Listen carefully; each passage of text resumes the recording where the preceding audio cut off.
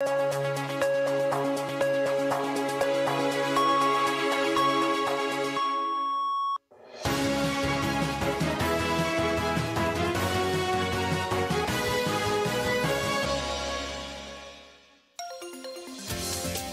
tal? ¿Cómo está? Les saludamos desde Onda Cádiz. Hoy también. Felicidad. Ojalá podamos encontrarla o, bueno, rozarla un poquito. Con esa manera de pensar hemos querido empezar este programa, el primero que hace Onda Cádiz en la radio televisión municipal. Este informativo cortito donde resumimos, creemos, lo más significativo que ha ocurrido entre ayer las previsiones también para este mediodía, que no es cualquiera, un jueves. Hoy es el día 8 del 8, 8 de agosto desde donde también aprovechamos para felicitarle en caso de que haya por ahí algo especial que celebrar. 22 grados marca el termómetro, hasta 25 llegará el termómetro en esta jornada de jueves. Sí, desde esta mañana, mucha niebla, ciribibi, como ya saben ustedes que se le llama a esa agua que cae del cielo precisamente cuando es densa esa, esa niebla. Bueno, viento del sur, lo que hace que se refresque un poquito y bueno, durante la mañana hasta las 12 más o menos, ya digo que la niebla permanecerá y los cielos estarán cubiertos. No hay, para nada, previsión de que pueda llover, ni mucho menos. Bueno, estamos en jornada donde queremos también plantearles distintas situaciones. Desde mañana, por ejemplo, se acoge el vigésimo quinto punto de encuentro con el mercado andalusí. Un total de 43 artesanos serán los que se den cita en sitios muy concretos de nuestra capital, el barrio del Pópulo y en la propia plaza de la Catedral. Esto se prevé, como digo, desde mañana, el 9, el 10 y el 11 de este mes. Y distinción también para esta casa, Onda Cádiz, donde va a recibir el premio Mojarrita de Plata 2024. Es, como saben, la Asociación de Amigos Fernando Quiñones quienes celebran ese tradicional bautizo en la caleta donde se ha dado lectura además de ese acta de reconocimientos. Tendremos ocasión de acercarnos nuevamente hasta la asociación de estos buenos amigos. Felicidades a esta casa. Y previsión hoy, a las 12 del mediodía, rueda de prensa sobre el cartel del próximo Carnaval 2025. Será la teniente de alcalde delegada de fiestas, Beatriz Gandullo, quien va a informar de cómo finalmente ha quedado este tema. Será, como digo, en la Casa del Carnaval. Estamos en las nueve y media ya pasadas. Información directa desde Onda Cádiz en jornada de jueves pasamos también por lo más significativo en los próximos titulares. Las noticias de la mañana en Cádiz al día. Empezamos hablándoles del pliego de iluminación navideño que se va a ampliar también a carnaval. Fiestas, en este sentido mejora las condiciones del contrato a una apuesta para mejorar el esorno de la ciudad durante las fiestas y hacerla más atractiva. El contrato de iluminación extraordinaria de la ciudad aumenta de forma significativa su cuantía. Será más de 3 millones de euros, un plazo de dos años, y abarca la Navidad, el Carnaval, Santos y también la fiesta de La Palma. Bueno, pues ya se ha adjudicado de forma provisional a la empresa Jiménez, una de las más señeras, podríamos decir, en el sector a nivel nacional. Está pendiente de su adjudicación definitiva a la espera de la presentación también de la documentación por parte de la compañía. Y reacciones, recordarán ustedes. Bueno, primero, el concejal Carlos Paradas critica la falta de gestión del equipo de gobierno del Partido Popular con políticas en favor del turista, dice, precisamente sobre el gasto del alumbrado extraordinario, las deficiencias también en limpieza, la amenaza de huelga por mantenimiento urbano y las quejas también por el parking de Santa Bárbara entre las denuncias. Además, Izquierda Gaditana pues insiste en esas urgencias de implantar la tasa turística como la solución al problema, dice, de la limpieza. El propio grupo municipal de izquierdas defiende que, bueno, serviría para reforzar el servicio de limpieza prevista para una población determinada que llega a duplicarse o triplicarse, como saben, con esto del verano. Conflicto, recordarán también, los abonos del aparcamiento de Santa Bárbara retienen, en este caso, sus derechos tras la intervención del ayuntamiento. La empresa Emiso, Emasa, perdón, eh, bueno, eh, cogestora también del recinto, ha variado sin consultar a Emasa, en este sentido, propietaria del otro 50% del aparcamiento. Las condiciones para los abonados. Bueno, pues pese a la rápida resolución del conflicto, el Partido Socialista ha criticado la dejación del equipo de gobierno en este asunto. Y también Palabras, en este caso recordarán, de Óscar Torres. Bruno García siempre va a remolque de todos los conflictos laborales del ayuntamiento. Bueno, pues advertía que la huelga que la empresa auxiliar del servicio de mantenimiento urbano demuestra la incapacidad del alcalde para adelantarse a nada. Respuesta inmediata, en este caso por parte del teniente alcalde de mantenimiento urbano del Ayuntamiento de Cádiz, José Carlos Teruel. Lamentando las declaraciones del portavoz socialista, dice por, bueno, lo injustas que son, pero sobre todo por venir de quien viene el socio colaborador de un equipo de gobierno que elaboró pliegos mal dotados, mal diseñados y, sin el más mínimo interés por las condiciones laborales de los trabajadores de las contratas municipales. Como digo, eso es lo que dice el propio José Carlos Teruel, que señalaba que bueno, es realmente paradójico que venga ahora Torres a darnos lecciones, haciendo eh, bueno, habiendo sido cómplice en todos los pliegos municipales que han mantenido a los trabajadores de las contratas cuando eran precarios también. Vergüenza le debería de dar al portavoz socialista haber mantenido durante ocho años un gobierno que tenía a los trabajadores, a las trabajadoras de ayuda a domicilio, con los sueldos que tenían, o a los trabajadores de parques y jardines.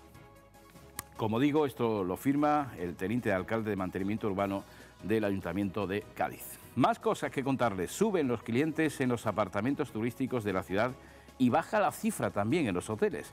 Los primeros alojamientos de la ciudad recibieron, bueno, pues el pasado junio a 1.500 personas más que en el mismo mes del pasado 2023, mientras que los segundos contaron con 2.100 clientes menos que el año pasado. Bueno, pues estos son datos que han sido arrojados por esa encuesta de ocupación en apartamentos turísticos y ocupación hotelera respectivamente. Esto por parte del Instituto de Estadística y Cartografía de Andalucía. Nos acercamos a la zona franca de Cádiz, ya es un espacio cardioprotegido. Es el consorcio quien instala desfibriladores bueno, en todas las oficinas y centros de la capital y también de la provincia. La firma adjudicataria del servicio realiza además unos cursos de formación sobre el uso precisamente de estos aparatos. Y se hace balance. La capital registra más de 200 accidentes de tráfico en el primer semestre de este 2024. Lideran en este sentido los atestados que se registran por parte de la policía local con 26 atropellos. La zona del entronque de cortadura es el principal punto negro de la capital. El exceso de velocidad y el consumo de alcohol y drogas encabezan las causas. Ah, pues siempre cuidado, hay que decirlo. Unas 900 personas asisten a talleres de responsabilidad. Sin cuidados no hay vida. Así es lo que organiza la propia Diputación de Cádiz. Se han impartido ya 44 acciones formativas en más de 20 poblaciones en el marco de ese programa Cuidalia. Y sobre medio ambiente, Costas, bueno, pues aportará arena junto al espigón norte de Santa María y también en San Felipe. Se trata de, bueno, mejorar las dos pequeñas playas que se han formado con esas mareas de forma natural y sobre tecnología médica, intervención quirúrgica en el Hospital de Cádiz con ese sistema Da Vinci. Bueno, pues una herramienta mínimamente invasiva. Fue implementada, en este caso, en el centro, en el hospital en el 2019 y funciona en las áreas de urología también, en cirugía general y, y ginecología. Y hablemos también del deporte. El espacio dedicado al Cádiz Club de Fútbol, bueno, jugó contra el Betis, igualaron en este caso 0-0, un partido jugado en la línea. Bueno, pues un buen test de todas maneras del conjunto cadista ante el conjunto bético. Suma y sigue y recordamos que pasado mañana se celebrará el trofeo. Y del fútbol al fútbol sala, hablando del Virgili que arranca la temporada, esto será todavía hasta el 14 de septiembre y lo hará en el norte de África, en Melilla. Bueno, pues su primer partido en casa será el 22 de septiembre ante la Cañada Rosal. Y hablamos de Alex O'Doherty. Bueno, pues ¿qué pasa?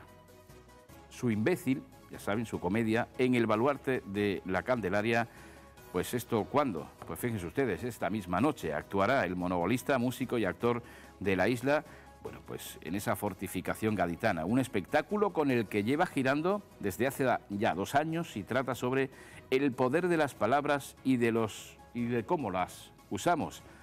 Imbécil, que así es como se titula. Y semana clave también está para ese festival La Isla de, en la ciudad de San Fernando. Bueno, pues Pedro el Granaíno y una noche de cante también en el parque.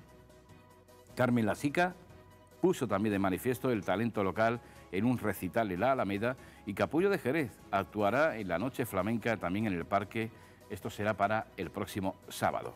Más de flamenco, Mercedes de Córdoba, sin más, en el Festival Patrimonio Flamenco aquí, en la capital. La bailaora y coreógrafa actuará mañana viernes, día 9, en el Castillo de Santa Catalina, en un ciclo de recitales, como saben, que acoge también desde esta noche de jueves con el concierto de Diego Magallanes, con el que vamos a poner ese filón poquito, 45 segundos nada más, de Diego sentado al piano y en su propio estudio. El artista gaditano, como digo, que llegará al Castillo de Santa Catalina para presentar su último trabajo.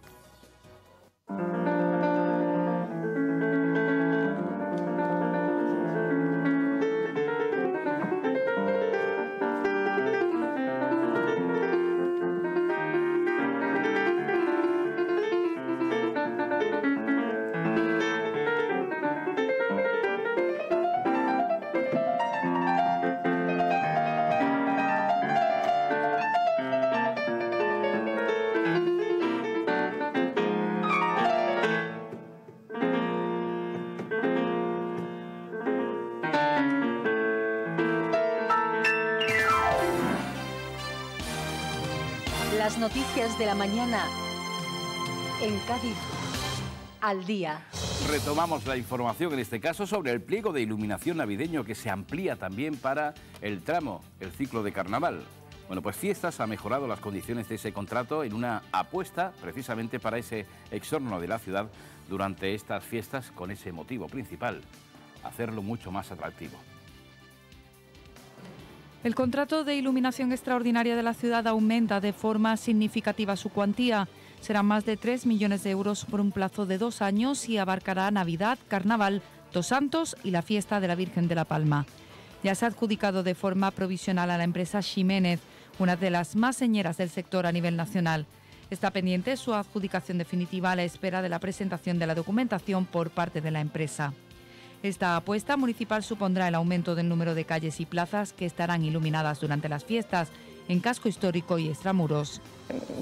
Para nosotros es una, la, Navidad es, una, es un momento comercial del año importantísimo. Los comerciantes suelen hacer en torno a un 30% de sus ventas. Tenemos que darle la importancia que merece. Para nosotros es una inversión, una inversión que redunda en empleo, que redunda en economía, que redunda en la dinamización de esta ciudad. El nuevo pliego supondrá además una mejora significativa en Carnaval con más calles con esta iluminación extraordinaria. Eh, yo quiero recordar que esta ciudad mmm, perdió su iluminación de Carnaval y que para nosotros era algo fundamental y prioritario. Entonces, bueno, ese pliego que ha sido elaborado por los técnicos de esta casa, a los cuales yo agradezco porque no saben ustedes el trabajo tan grande que ha tenido, eh, porque como habrán visto ustedes, el pliego es muy detallado, muy detallado. Eh, entonces, eh, bueno, estamos en el procedimiento, estamos en tiempo, estamos bien. Hablamos ahora de la empresa Emiso, cogestora del parking de Santa Bárbara, que ha variado, eso sí, sin consultar a EMASA, que es la propietaria del otro 50% del aparcamiento, las condiciones para los abonados. Bueno, pues tras las quejas por parte de los usuarios, el propio ayuntamiento ha anunciado que el incremento de los abonos no se va a hacer efectivo hasta enero del próximo 2025 y los abonados podrán, seguir teniendo derecho a esa plaza fija. Pero a pesar de la rápida resolución del conflicto, el Partido Socialista ha criticado, dice, la dejación del equipo de gobierno ante este asunto. Los abonados del aparcamiento de Santa Bárbara no tendrán de momento que acatar las nuevas condiciones impuestas por la empresa Emiso, cogestora junto a EMASA de este parking. Emiso había notificado a sus clientes el incremento del precio del abono de manera inmediata, además de advertirles que no tenían derecho a una plaza fija de aparcamiento, además de no tener prioridad en el acceso. Tras las protestas públicas de los abonados, que además habían reunido con el Grupo Municipal Socialista para que mediasen el conflicto, finalmente estas medidas no se llevarán a efecto. Según ha informado el Ayuntamiento de Cádiz, los abonados tendrán derecho a su plaza aun cuando el aparcamiento cuelgue el cartel de completo. En cuanto a la subida del abono de 81 a 90 euros, no se realizará finalmente hasta enero de 2025. A pesar de esta rápida mediación municipal, desde el Grupo Municipal Socialista han defendido a los abonados y criticado la actitud municipal ante estos hechos. el grave problema de aparcamiento que tiene nuestra ciudad es que dejarlos en la calle o invitarlos a salir del Parque Santa Bárbara, que es lo que está haciendo la empresa en estos momentos, pues vendría a agravar con 60 plazas de aparcamiento más en, el centro de, de la ciudad. Por eso nosotros, insisto, pues hemos salido defendiendo los derechos de estos usuarios. Curiosamente, el equipo de gobierno tardó dos horas en sacar un comunicado que decía que ya estaban arreglados los problemas.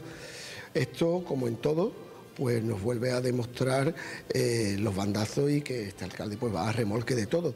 Otras de las cláusulas incluidas en el documento enviado a los usuarios obliga a los abonados a tener que rotar los vehículos y si en un periodo de seis meses no se ha realizado, la empresa emiso puede solicitar la retirada del coche. Además, en cuanto a la tarifa vigente del precio del abono, desde emiso se recuerda que el precio ha permanecido congelado desde el año 2014. Una más de política local en este caso sobre la tasa turística como solución al problema de la limpieza. Bueno, pues Adelante Izquierda Gaditana insiste además en la urgencia de querer implantar esto. El Grupo Municipal de Izquierda, bueno, pues defiende que esta tasa serviría para reforzar ese servicio de limpieza previsto, como saben, para una población que se determina, que se duplica, que se triplica además por el turismo, precisamente. Adelante Izquierda Gaditana denuncia problemas en la limpieza de la ciudad. Según cuestionan, no se cumple el pliego del servicio ni se trabaja en su implementación, como recuerdan prometió el Partido Popular en campaña electoral. La triplica la población. Esto es un argumento que cada vez está pasando más. Antes pasaba, pero ahora pasa mucho más.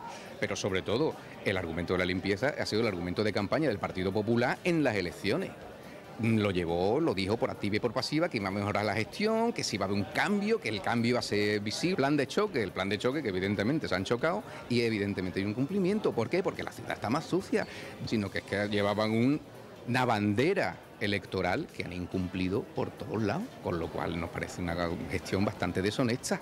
Desde AIGEP apuntan como posible solución la implantación en Cádiz de la tasa turística, una medida que argumentan podría financiar un refuerzo de los servicios públicos de limpieza para hacer frente al incremento de población por las visitas turísticas durante la temporada alta. Seguimos ahora con la lonja de Cádiz, que está a la cabeza en Andalucía en la comercialización de productos frescos. Bueno, pues ha sido la segunda provincia con más actividad en ese primer semestre de este año, con 3.128 toneladas de género que se han vendido por más de 8 millones de euros. Buenos datos de la comercialización de la lonja gaditana en el último balance semestral realizado por la Consejería de Agricultura, Pesca, Agua y Desarrollo Rural de la Junta de Andalucía. Cádiz es la segunda provincia con mejores resultados tras Huelva, con 3.128 toneladas de género vendido por más de 8 millones de euros. En cifras autonómicas, las 25 lonjas de Andalucía han comercializado durante el primer semestre de 2024 más de 22.500 toneladas de productos frescos por valor de 86 millones de euros. Esta cifra incluye más de 17.000 toneladas de pescado, cerca de 3.000 toneladas de moluscos, 2.000 de crustáceos y 116 kilos de estrellas y erizos de mar. El precio medio por kilogramo se ha situado en 3,8 euros, superando así los 3,6 alcanzados en 2023. Por especies, según el informe de la Junta, el boquerón representa el 27,5 de las ventas totales, con más de 6.000 toneladas comercializadas y un valor de 10,5 millones de euros. Le sigue la caballa del sur con el 7,8% del total y cerca de 1.800 toneladas en ventas que alcanzaron el millón y medio de euros. La gamba ocupa la tercera posición con 1.300 kilogramos vendidos por valor de 12,2 millones de euros. Y anotamos también que Costas va a aportar arena junto al Espigón Norte de Santa María y también en San Felipe. Bueno, pues esto se trata de mejorar las dos pequeñas playas que se han formado con las mareas y además ha sido de forma natural. Los flujos de mareas han creado dos pequeñas playas en Cádiz que, según anuncia demarcación de costas, podrían consolidarse con pequeños aportes de arena procedentes del dragado de la nueva terminal. Según el responsable del ente, Patricio Pouillet, en ningún caso se trata de generar nuevas playas de forma artificial, sino mejorar las que ya se han creado de forma natural una junto al espigón de Santa María del Mar en su extremo cercano al baluarte de San Roque y la otra en la punta San Felipe. no, se trata realmente de una creación de nuevas playas, es decir, son dos puntos, tanto al norte del Espigón norte de Santa María como en la punta San Felipe, son puntos que de manera natural la arena se deposita. Entonces, lo que estamos estudiando es la posibilidad de, haciendo un pequeño aporte, estamos hablando de cantidades muy pequeñas, oye, mejorar un poco esa playa, sin crear una playa como tal, sin crear estructuras artificiales de ningún tipo, sino si la, naturaleza lo acumula allí y vamos a tener excedentes de arena de próximos dragados que se van a hacer en, en el puerto de Cádiz, oye, pues si se pueden llevar 500, 1000 metros cúbicos allí y la playa va a seguir siendo mareal. Allí no se va a crear una playa que se pueda llamar como tal. Pero bueno, si se mejora ese espacio, bueno, pensamos que, puede ser bueno. La remodelación del Paseo Pascual Peri, anunciada por Autoridad Portuaria, incluye entre sus actuaciones habilitar un acceso a esta playa que se forma junto a la Alameda. Según este proyecto, se derribará la edificación existente actualmente sin uso que obstaculiza la visión de la batería de San Felipe y de la fachada marítima de esta zona de la Alameda. Así se dejaría libre un paso a la zona trasera del paseo, permitiendo acceder a la playa que se ha ido formando en los últimos años y que pondría más en valor la zona. Costa se estudiará si el aporte de arena a las zonas del baluarte de San Roque y a San Felipe se estabiliza o cómo se comporta con el efecto de las mareas. Nos seguimos quedando aquí en la capital, donde se registran más de 200 accidentes de tráfico en este primer semestre de 2024. Bueno, lideran en este sentido los atestados que se registran por parte de la policía local con 26 atropellos. Bueno, pues la zona de ese entroque de cortadura es el principal punto negro cuando se entra a la ciudad. El exceso de velocidad y el consumo de alcohol y drogas encabezan estas causas. La necesidad de una mayor concienciación vial es una realidad que se convierte en alarma cuando el último informe de la Policía Local de Cádiz detalla que una capital con 116.000 habitantes ha registrado 184 accidentes con heridos y 48 sin daños personales en el primer semestre del año. El cómputo de atestados señala algunos de los puntos negros detectados por las fuerzas de seguridad las grandes vías y zonas arteriales como la entrada a la capital por el segundo puente o el entronque de los vehículos procedentes de la K33 lideran el registro. Entre las principales causas el consumo de alcohol y drogas y el exceso de velocidad.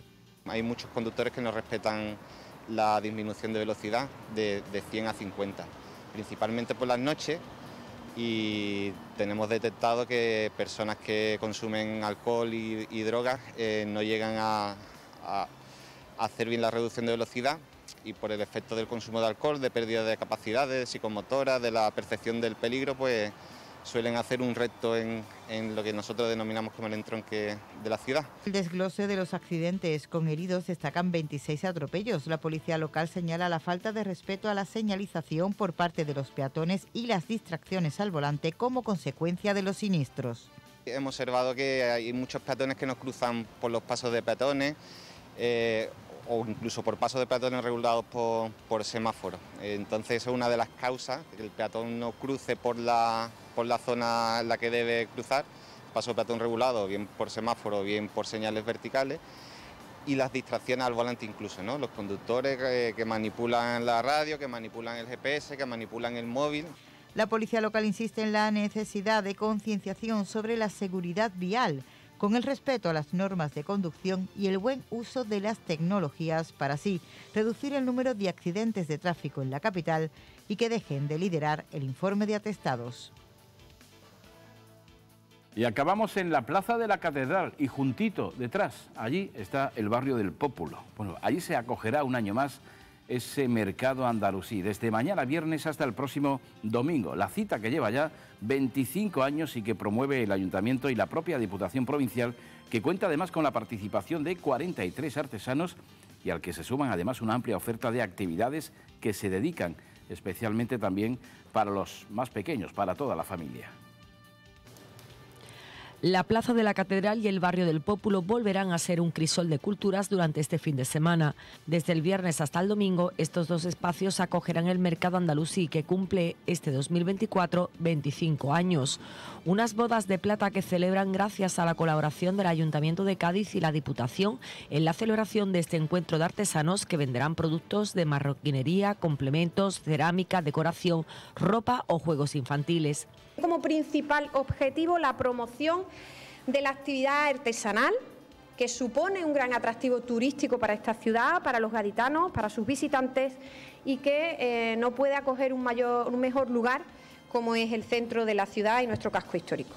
Una cita en la que participarán 43 pequeños empresarios que contará con la principal novedad de la reubicación de los puestos ubicados en el barrio del Pópulo. Durante el último año se ha estado trabajando en mejorar la ubicación de estos artesanos que habían solicitado en los años anteriores el cambio de su emplazamiento. A la oferta comercial hay que sumar la oferta de actividades que se celebrarán del viernes al domingo. Así habrá talleres para los más pequeños, música en directo, espectáculos de magia y teatralizados una oferta variada para promover la artesanía durante la época estival. Es un privilegio ofrecerle ese espacio y la visibilidad que merecen, facilitando evidentemente ese acceso a nuevos mercados y a nuevos clientes ¿no? potenciales. En la Plaza de la Catedral estarán dispuestos 30 puestos y en las calles del barrio del Pópulo 13 que estarán abiertos el viernes y el sábado desde las 12 del mediodía hasta la 1 de la madrugada y el domingo hasta las 11 de la noche, ampliando así en una hora el horario dominical con respecto al año pasado. Bueno, lo dejamos aquí de manera momentánea. Hacemos salto publicitario y seguimos ahora con ángulo abierto y después nos vemos de nuevo en el mirador. Hasta ahora.